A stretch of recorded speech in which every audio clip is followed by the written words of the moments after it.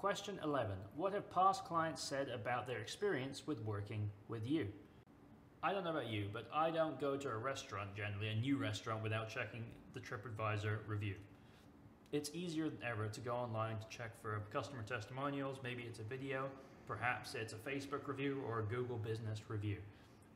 But take the time to do your research and see if, if they even have an online presence, first of all. And if they do, hopefully they have some reviews that you can rely on when you're hiring that realtor to work for you.